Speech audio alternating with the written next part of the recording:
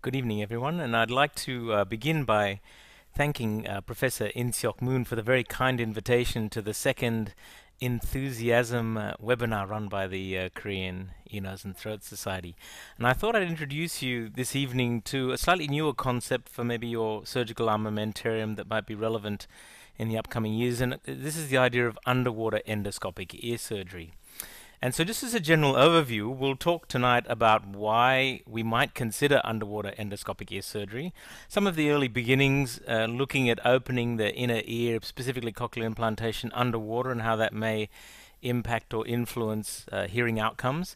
And then I'll move on to the most common, or I think the most relevant uh, for otologists, and that is the management, endoscopic management of cholesteatoma, particularly of fistulae and then talk about some now more recent evidence regarding superior canal dehiscence repair, particularly transmastoid underwater repair. And then we'll finish with just some general ideas about piezo surgery and potential future directions.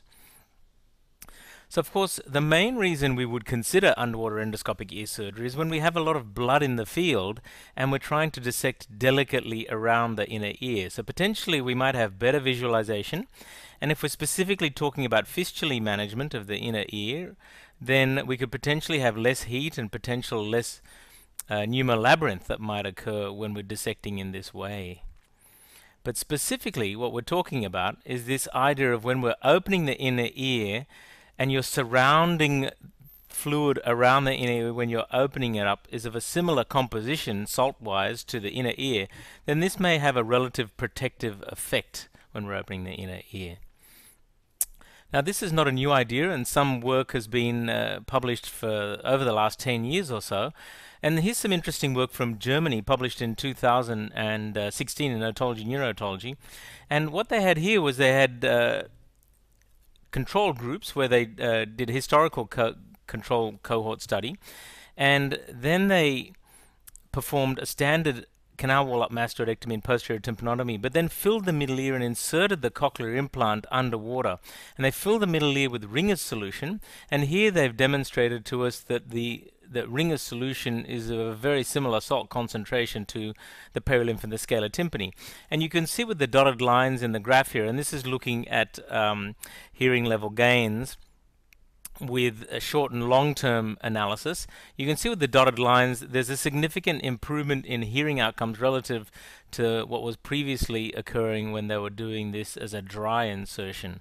And so this maybe implies that if we surround the cochlea with solution that's similar to the perilymph and we do our manipulation of the inner ear, this might be relatively more protective. And this has, of course, uh, been demonstrated since then when we've applied this technique, or this is specifically a Japanese group, and a lot of the work comes from Japan or China, where they're using an endosheath, uh, like we use in endoscopic sinus surgery, and filling the external auditory canal and using this as a method of potentially performing hydromastoidectomy, or in fact doing underwater drilling. And you can see here this paper from just last year demonstrating how antral and attic dissection can occur transcanal using an underwater technique. Now, I feel probably the best current application of underwater endoscopic ear surgery is in the managing of cholesteatomatous fistulae. And you can see this work was published some seven years ago by Yamauchi's group, and he subsequently published a different series of fistulae repair. And this is what I'll focus a lot of the attention of this talk on, and that is looking to manage the situation of cholesteatomatous fistulae, which occurs in around 5 to 10% of cholesteatoma case, cases as a complication in Western literature, and this may certainly be higher in uh, in more developing countries. And in terms of frequency, the commonest location is the lateral semicircular canal. And you can see a coronal image in the top part of this slide of a right ear, and we can see the cholesteatoma with a fistula noted into the lateral semicircular canal. The second commonest site is actually the cochlea, or the oval window. And here an axial left CT scan uh, where we're demonstrating a fistula into the cochlea with cholesteatoma. And then below that, in terms of frequency, comes the superior and the posterior semicircular canal. When we're talking about fistulae, just as a slight digression from underwater endoscopic ear surgery, CT scan is, of course, fairly mandatory. and we notice that associated erosions are highly correlate with the labyrinthine fistulae. And when we're looking at 0.5 millimeter slices, there's a relatively high sensitivity and specificity to establish whether there's membranous erosion when the fistula is smaller. When the fistula gets larger, it becomes a little bit less sensitive and specific in terms of determining whether there's direct membranous erosion. MRI scan is used in some centers to help add with the diagnosis and when we're looking on the MRI scan, looking at a T1 scan with gadolinium or a loss of signal on T2 may indicate labyrinthitis and some newer techniques published just some 8 or 9 years ago using 3D CISS and 3D FLAIR in papers published by Sone and, and co-authors in 2012 said that it may uh, give us a better functional prognosis of the inner rather than the CT scan and the size of the fistula. So some units are using an MRI scan. In terms of a grading system, we generally are using the Dornhoffer system, which has been around now for over 20 years, the Dornhoffer-Milewski classification, where type 1 is essentially an erosion of the bone with leaving an intact endosteum. Type 2 variably looks at opening the perilymphatic space but not disturbing the membranous labyrinth and type 3 is when there's a membranous labyrinth erosion. And you can see here two examples coron in uh, coronal imaging in the right ear of fistula into the lateral semicircular canal. And generally when there's a membranous breach the greater the breach generally the worse the bone line can be expected. And this is of course intuitive now, for many decades, the approach to managing fistula has been debated, and there's no real comparative or randomized trials we're looking at different results. But certainly, the method that's occur- that uh, is dictated in various institutions is usually based on institutional preference or the surgeon's preference and concurrent pathology. But there's been radical mastoidectomy descriptions, series of canal wall down and canal wall up, and more recently, endoscopic approach has been used to manage fistulae. Michael Gluth and co-authors John Lim and Michael Gluth published just uh, four years ago this systematic review and showed that there was generally poor levels of evidence for managing fistulae and the key question is um, is there any difference in hearing outcome if we remove or leave the matrix? And it seems to be that there's nothing that we can find in the literature. But intuitively, it's probably better to completely remove the disease because you have less ongoing inflammatory burden within the inner ear. So this seems to be logical that whenever we can, we'd like to remove all of the disease from within the inner ear. Now, the question of steroids has also been debated, and there tends to be a trend towards improved hearing with the use of intravenous steroid on injection. And certainly, there'd be no harm in using steroid on neuropathies if we're uh, dry dissecting. There seems to be no clear evidence for its use postoperatively, but in general, I think it's wise to consider recommending it if there's no contraindications. In general, the hearing results, and specifically the bone conduction results, probably are better when the membranous labyrinth is not in, uh, open, when intravenous steroids have been used on induction. Generally, there are better hearing outcomes with semicircular canal fistula compared to vestibular cochlear fistula. And this, of course, seems intuitive because, of course, the involved auditory hair cells are further away in a semicircular canal fistula. And there's debate about whether plugging or resurfacing has any difference. And these days, I think there's a trend towards plugging off the canal. I think those of us that do transmastoid superior semicircular canal closure tend to get more confidence when we plug off the canal. And this seems to imply that there could be less ongoing labyrinthitis when we're managing the cholesteatoma. Now, the underwater method, as I mentioned to you, has been around for several years now, and this is the actual method that I use. I tend to use a 4mm 18 centimeter scope, and this is transmastoid typically, so I'll do a canal wall up mastoidectomy. We use the endoscrub attachment from the Medtronic Corporation, and typically I use a 3 liter bag of Hartmann's or Ringers, and that's heated to body temperature, and we add dexamethasone to that solution if I'm working in the mastoid bowl, as you can see with this video uh, in the top right hand corner of the screen, you can see with the picture I took in the bottom right hand corner that I often stabilize the scope over the sigmoid sinus because otherwise the, sigmoid, the, the scope tends to wobble quite a lot and we stabilize it with a Ratec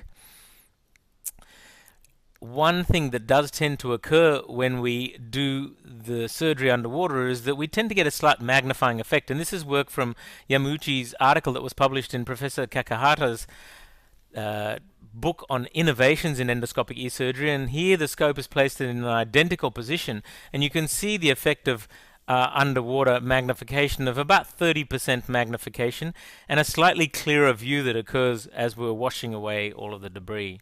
And this is important when you're beginning to do this sort of case to compensate for these sort of factors.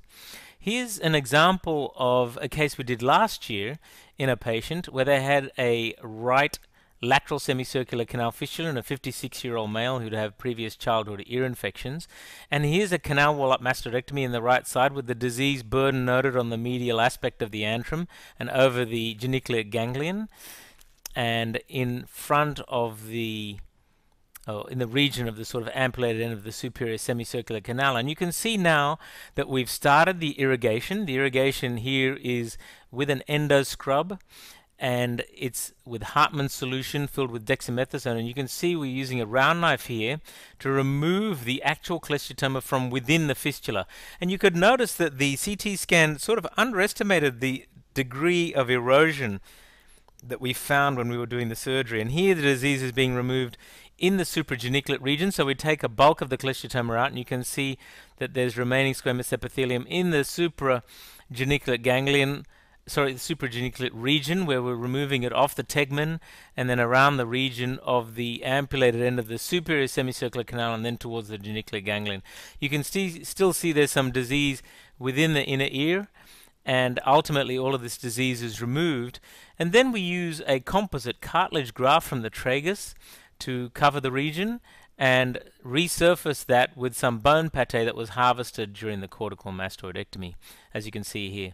And preoperatively, we had a bone line that was relatively normal, which you can see in the upcoming audiogram. And postoperatively, we were relatively lucky with just a drop off in the bone line in the in the 1000, 2000, and 4000 kilohertz range, but certainly very adequate, and that's six months postoperatively.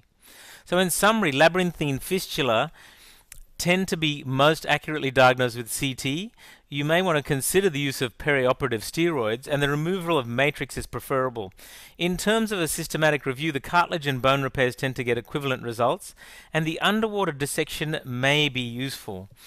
One of the uh, counter arguments to the underwater dissection that we can see, even though I mentioned to you the pros, which could be better visualization, less heat, and less potential for pneumolabyrinth, one of the cons could be that if we're irrigating for a long time, there's a large volume exchange with the perilymph, and we don't really know the long-term effects of this, but we'd have to suspect that there could be more long-term progressive hearing loss than, uh, uh, and so we have to be careful, and probably this will be the uh, source of future research in this area. Now, another application of underwater endoscopic e-surgery is for superior canal dehiscence. This was uh, published some four years ago, again from Dr. Yamauchi's group, where we're performing, and this is quite a standard approach now, a transmastoid superior semicircular canal plugging for superior semicircular canal dehiscence. And here it was a first published report, and subsequently he's had a series of six that he's published with very minimal changes in the bone line. And here's an example of one case of mine where the patient had a superior semicircular canal dehiscence on the right hand side and I performed a standard canal wall up mastoidectomy demonstrating the lateral semicircular canal and the superior semicircular canal and then moved to an underwater technique to open the superior semicircular canal and here you can see we're plugging with some fascia the posterior and the anterior aspect and then draining the fluid away and covering that with bone pate and subsequently some perichondrium.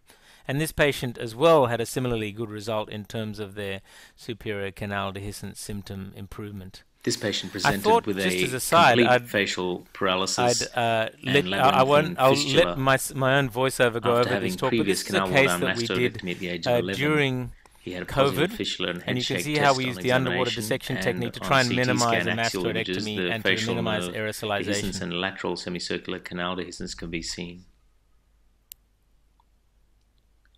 The procedure began with an incision of the webbing posterior superiorly in the previous canal wall down mastoidectomy, noting that we were trying to minimize any drilling at all during this case and any aerosolizing. The bulk of the cholesteatoma was removed with a round knife and with long Thomassin instruments to reveal the medial lining of the cholesteatoma and matrix this can be seen in the upcoming image here where the facial nerve and the fistula are outlined. A 4mm scope with endoscrub was then used to do the dissection underwater where matrix was removed from the cholesteatoma. Hartmann's at body temperature with dexamethasone was used for irrigation solution. Here the anterior part of the matrix has been removed and a stubborn amount of matrix medial to the facial nerve in retrofacial area and in the posterior aspect of the fistula is removed under direct vision using a short Thomassin dissection tool and as mentioned before 37 degree irrigating Hartmann solution was used with dexamethasone instilled into the Hartmann's. You can see the excellent view that we get in the retrofacial region with the use of the ongoing irrigation. The cholesteatoma remnant was then completely removed and the region was then repaired using a composite cartilage graft and I'll show you the uh, ultimate result at three months post-op yeah. here. And at six months, the patient had a complete return to full uh, facial nerve function after this dissection.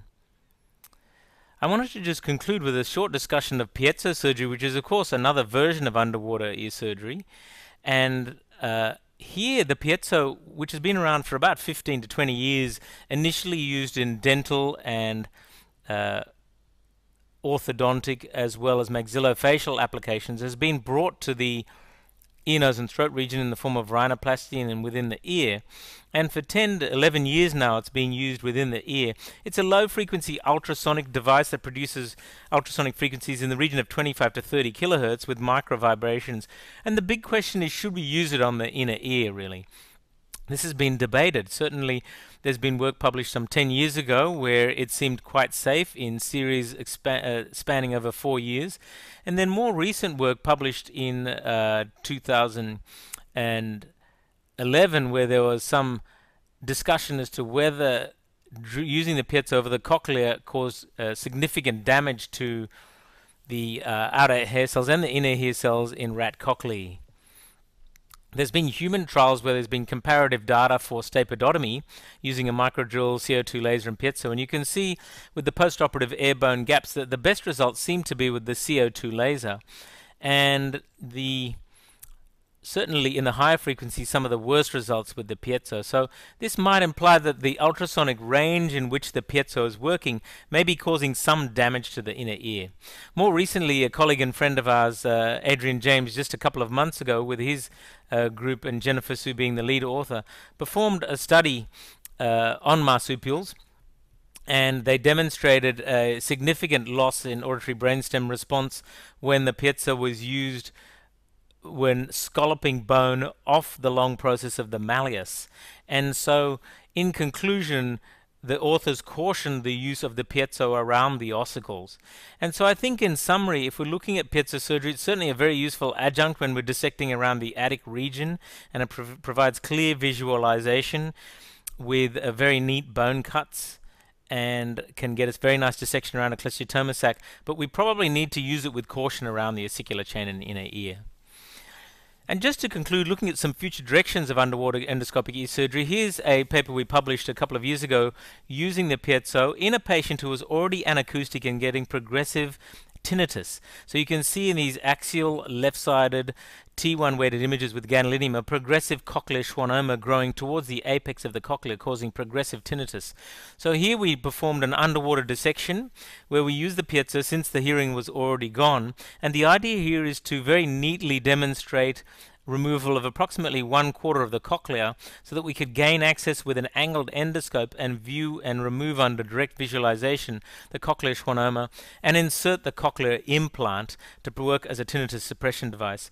And this worked very well as a tinnitus suppression device as we might expect since the spiral ganglion neurons are still intact and also gave the patient very useful hearing function. So this is almost the opposite of soft surgery here where this, this Stefan Plontke idea of using uh, essentially dental flossing out the cochlea using a well he used a Prolene suture and here we're using the depth gauge to push out the remaining cochlear tumor and then insert an advanced off stylet cochlear implant And you can see that ultimately we put the advanced stylet implant in and repair just with composite cartilage graft and lay the tympanic membrane back down again. And this patient had a very successful return of hearing and loss of tinnitus.